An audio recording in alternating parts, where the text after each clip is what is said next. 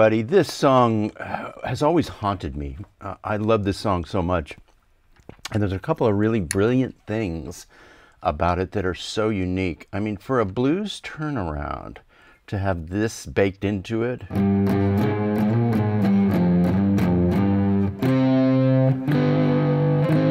And then here, and this dissonance right here, this is what blows me away.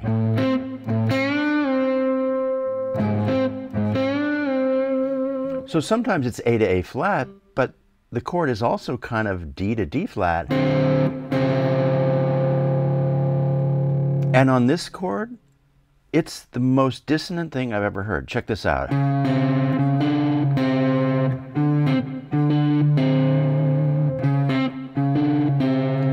Now it gets a little more consonant if you use this bass note.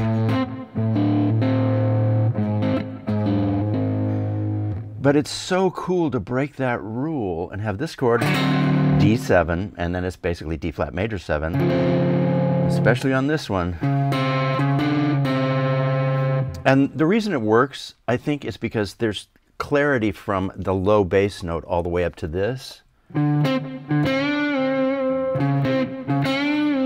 There's enough space between the two intervals that it really works. It's just, it's such a rule breaking amazing, beautiful little little melody, little motif.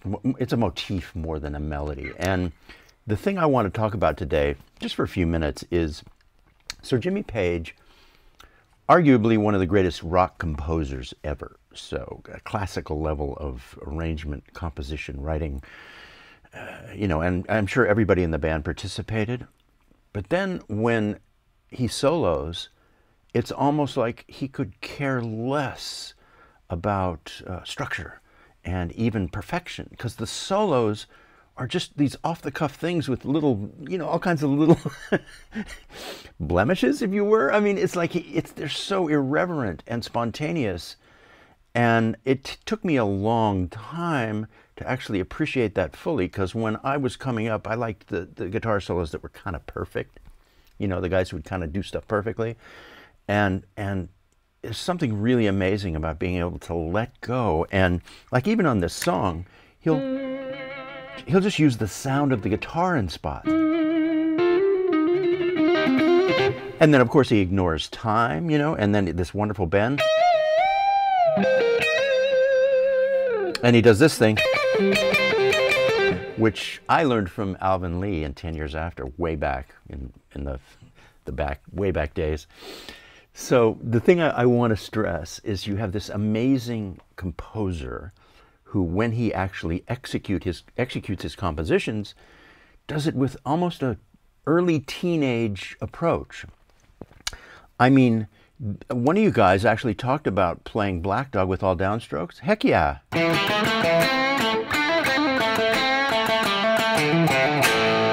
Sounds great with all downstrokes. I mean, and a riff that I actually work on.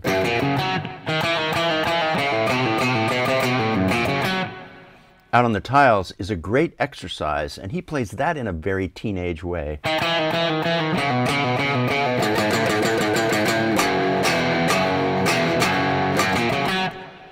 So if you want a kind of a tongue twister on guitar, a nice exercise, learn out on the tiles. And then it goes.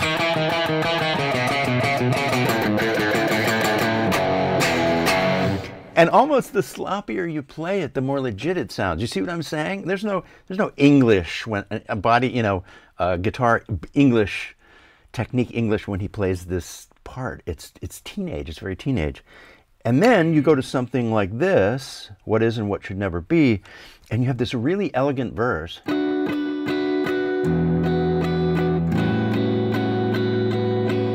Know, super light touch, kind of clean, probably on the neck pickup, just, you know, turn down a little bit. And then switch to the bridge and do this.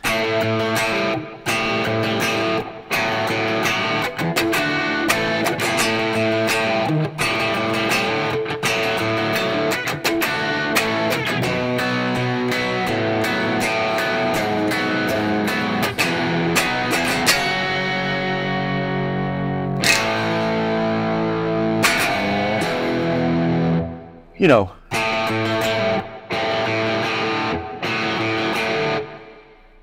and almost the sloppier you play it, although I hate to use the word sloppy because it's on it, the looser you play it, the more legit it sounds.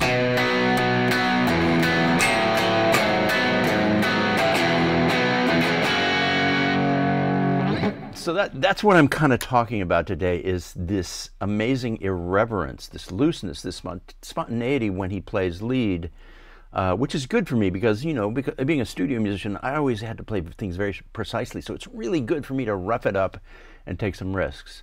Let me play through this one more time, and then we'll look at some questions. Here we go.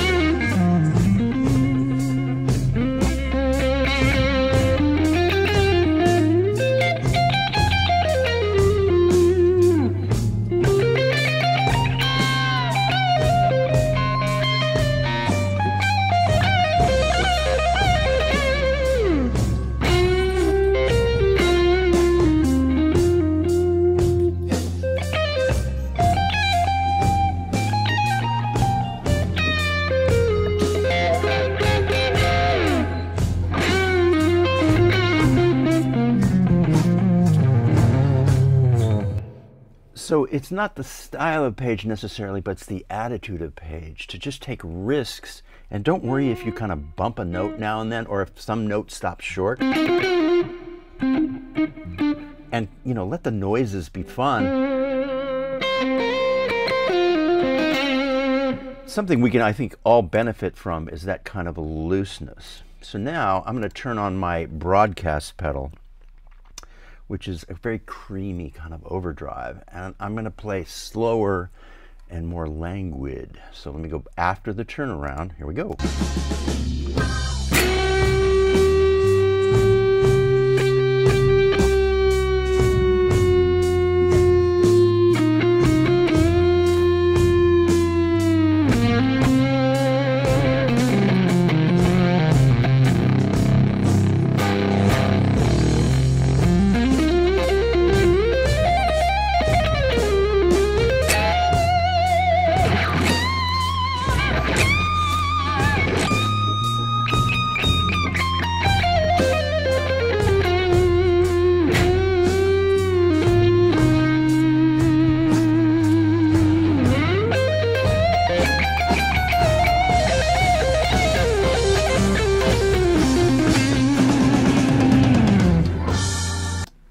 It's like don't don't be afraid to be sloppy. Don't be, be afraid to take risks. And I mean that's it's a pretty cool thing to be able to to give up all of that pretense of I'm going to play perfect and just kind of go for it. So that's what I get from him.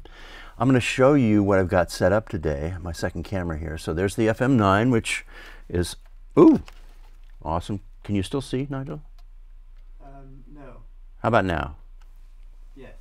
Okay, we got it back. So there's the FM9 from last week's video. Now, is it out of focus? No. Okay, good. That's my Pro Tools screen where I'm playing along. This is the wild collection of pedals. And what I just turned on was the broadcast for that extra fuzz. And then we look across the room. Got the lights, got extra stuff. We got the phone. We got the universal audio stuff. The hologram which what is that called? The hologram microcosm. There it is. Hologram microcosm. Marshall's this old PA head, which sounds really good. Today I'm using the divided by 13 head and my super sweet right back there. Super sweet for just a push on the divided by 13 head using some old Celestions from 1968. Old speakers, but a real amp Really had fun with the FM9 last week, but it's back to the real amplifier today. Extra picks there. My ancient tuner, which is the old Peterson. That's my acoustic guitar mic, which I pull in for acoustic guitar stuff on sessions. My Kemper profiles are on the masterclass. So finally, I can talk about there is a special on the masterclass today, uh, just for this weekend. If you go to the masterclass for the free trial, I shouldn't say this, but you can download the Kemper profiles, and then if you decide you don't want the master class, you can opt out. So the free trials are there. There's a Kemper video in the master class. I'm not sure exactly where it is, but the there's a, a an actual attachment that has the Kemper profiles that we did. They're free. Um, you might even go back to the YouTube video that's on my channel and look for them there. They might even be on there. No, I don't think they're on there. I think they're in the masterclass. So, yeah, all of you, I if you want to support the channel, the masterclass is how I monetize. It's the only way I make money. Uh, don't really make money on the YouTube channel. A little bit, but a lot of my videos are demonetized. So if you want to support me, and you want guitar lessons, take the free trial. If it's right for you, stay in. If it's not, just opt out. Hey, I'm going to play a little bit because that's what I came to do, and then uh, we'll take a couple more questions. Here we go.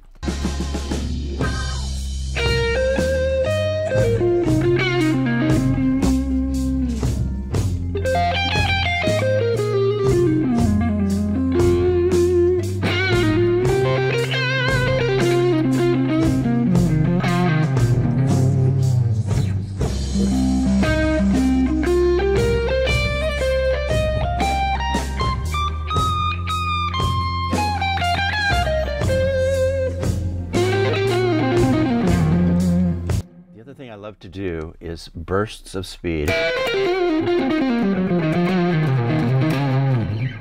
That's really effective when you're playing slow and then just out of the blue you go.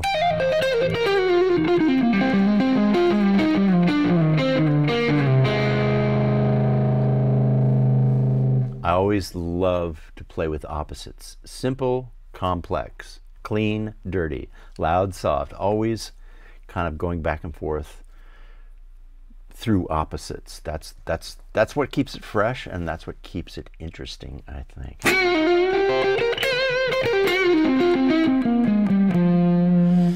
Well, you're asking for a tip over playing through 12-8. Eventually, you develop a clock. So it's one, two, three, one, two, three, one, two, three, one, two, three. Small threes, big threes. Um, eventually, it becomes second nature, and that's that's what I would work for. Is so that da, da, da, da, da, da, da. It's going constantly in kind of in your body, in your psyche.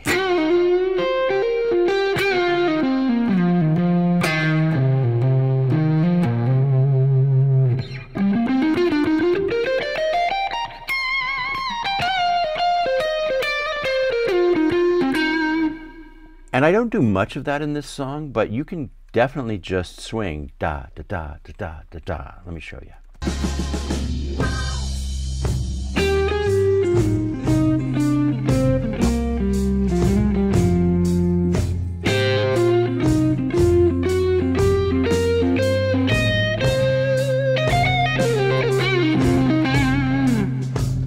You see, I, I did it there. I actually swing for a little while and then play fast. So always, always trying to use opposites all the time.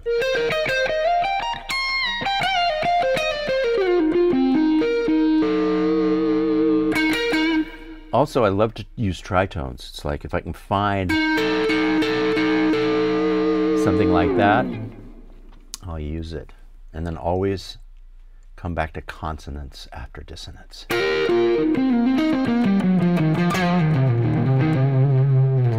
So anyway, anyway, if you guys haven't checked out the, the, the free trial in the masterclass and this this sale that we're having this weekend, check it out. Uh, it's just for the next two days, and um, I'm going to play out a little more. I want to thank you guys for for coming and for joining us and for supporting the channel. And all you got to do is take the 14 day free trial. If you like it, stay in, and that'll that'll support us. That'll keep us going. Because even this video we test it, we get a copyright claim, and Led Zeppelin makes the money from this video, and there'll be ads on it. And so, if you want to support the masterclass, just check it out and, and see if it's right for you. No obligation. You can cancel anytime before day 15. And so I want to thank you guys for joining us. And uh, I'll keep doing these, and I'll see you in, probably in a couple of weeks for another one. And uh, of course, this will stay on the YouTube channel archived so you can watch it anytime. So I'll play out for a little while, and uh, we'll see you guys on the next one. Thanks so much. Here we go.